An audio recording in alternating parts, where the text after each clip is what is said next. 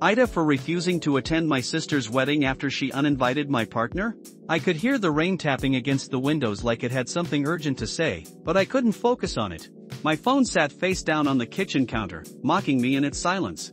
Maybe I was overreacting. Maybe I wasn't. But when I flipped it over and saw the last text from my sister, the anger that had been simmering inside me for days started boiling over again. You know how mom feels about Charlie. I really want you at the wedding, but I think it's best if he doesn't come. That was it. No explanation, no compromise, no acknowledgement of the fact that Charlie and I had been together for almost three years. She didn't even call him by name just he, as if he were some kind of inconvenience instead of the person I loved. I didn't text her back right away. I mean, what do you say to someone who's telling you to pick between your partner and your family? I could feel Charlie watching me from across the kitchen, waiting for me to say something. He was stirring a pot of pasta, but I could tell by the way he was moving the spoon fast, restless that he'd seen the text. We were good like that, picking up on each other's moods, even when we didn't talk about it. So, he finally said, glancing up at me with a half smile that didn't reach his eyes, What's the verdict? Am I still in the wedding or am I officially persona non grata? I stared at him for a second, trying to swallow the lump of frustration that had been building since my sister first started sending passive aggressive texts about the wedding. It's not you. It's mom, I muttered, quoting my sister's words like they explained everything, even though they didn't. Apparently, you and her can't breathe the same air. He let out a laugh, the kind you give when something's so ridiculous you don't know how else to react. Yeah, well, I've been on her bad list ever since I showed up to that family dinner in skinny jeans. I cracked a smile despite myself, remembering how my mom had stared at his jeans like they personally offended her, whispering to my dad something about proper men's clothing. It had been awkward, sure, but it wasn't the kind of thing that should still matter almost two years later. I leaned against the counter, folding my arms. You're too edgy for them, I teased, but the humor felt hollow, weighed down by the nagging thought that maybe, just maybe, there was a part of me that understood where my mom was coming from. My family was traditional, the kind of people who liked things neat and predictable. Charlie wasn't neat or predictable, not in the way they wanted. He was impulsive, a little rough around the edges. But that's what I loved about him.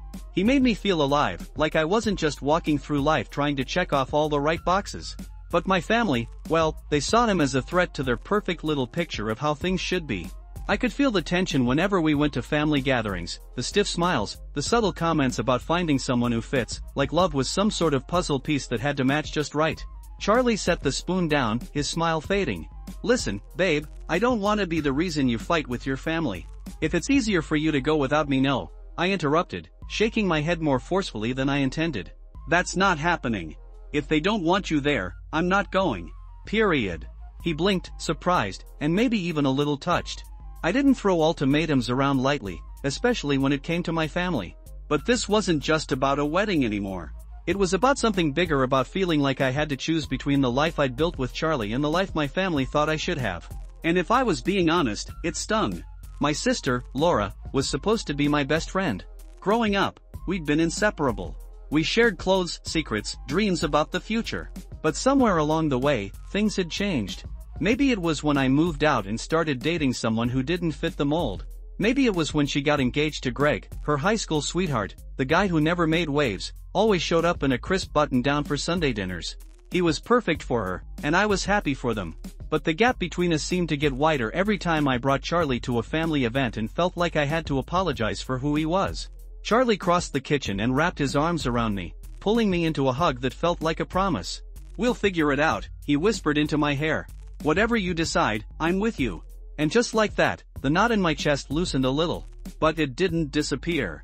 The thought of missing my sister's wedding weighed on me like a boulder, pressing down on my chest every time I imagined the ceremony, the speeches, the dancing. I didn't want to miss it.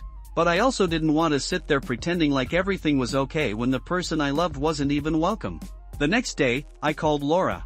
I thought about texting, but this needed to be a conversation, not a passive-aggressive exchange of emojis and one-word responses. She picked up on the third ring. Hey, sis she said, her voice cheerful, as if she hadn't just thrown a grenade into my life two days ago. I was wondering when I'd hear from you. I didn't bother with small talk. Why can't Charlie come? There was a pause, and I could almost hear her trying to come up with the right words to make this seem like no big deal. Look, it's not personal. It's just that, well, you know how mom is. She doesn't think he's a good fit for our family, and I really don't want any drama on my wedding day.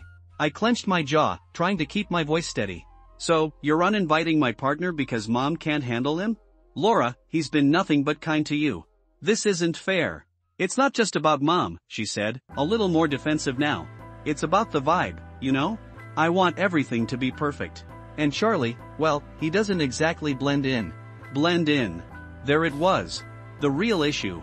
Charlie didn't blend in with their perfectly curated lives, and that made them uncomfortable. I'm not going to pretend like this is okay, I said, my voice rising despite my best efforts. If Charlie isn't welcome, I'm not coming either. There was a long silence on the other end of the line, and for a moment, I wondered if she'd hung up on me. Then, finally, she spoke, her voice tight. Are you serious? You're really going to skip my wedding over this? I don't want to, I said, my throat tightening. But I'm not going to sit there and smile while my partner is being excluded for no reason. Fine, she snapped, and I could hear the hurt in her voice now, sharp and cutting. Do what you want. But don't expect me to be okay with it. She hung up before I could say anything else, leaving me standing in the middle of my apartment, my heart pounding in my chest. I didn't cry right away. I just stood there, staring at the wall, trying to process what had just happened. I knew this was going to hurt, but I didn't expect it to feel like this as if a piece of my past had been ripped away, leaving me with nothing but a hole where my relationship with my sister used to be. Charlie found me like that a few minutes later, standing frozen in the living room. He didn't say anything, just walked over and pulled me into his arms. For a long time, we didn't speak. We didn't need to. The wedding day came and went, and I didn't go. The first few days after my conversation with Laura were heavy, filled with guilt and doubt. But as time passed, I found a strange sense of peace in my decision. It wasn't easy, but it felt right. And more than anything, it was a reminder that sometimes standing up for the people we love means standing up for ourselves too. A few weeks later, I got a letter in the mail. It was from Laura. I hesitated before opening it, my heart pounding in my chest. Inside was a short note, scribbled in her messy handwriting. I'm sorry. I didn't realize how much I was asking you to sacrifice. I miss you. Let's talk. It wasn't perfect, but it was a start. And for now, that was enough.